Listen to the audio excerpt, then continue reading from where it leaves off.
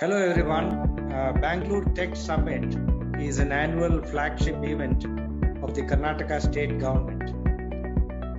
It is not only acclaimed in India but also internationally acclaimed. The next edition of this event is going to happen between the 17th and 19th of November 2021 with the central theme of driving the next.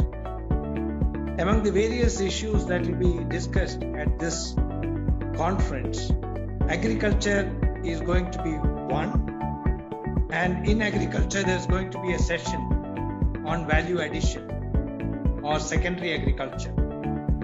As most of you would be aware, uh, India has been a leading producer of agricultural commodities.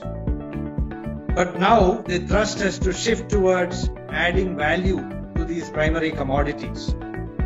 It will not only help in boosting rural incomes, but this will also afford lot of unique opportunities for budding entrepreneurs.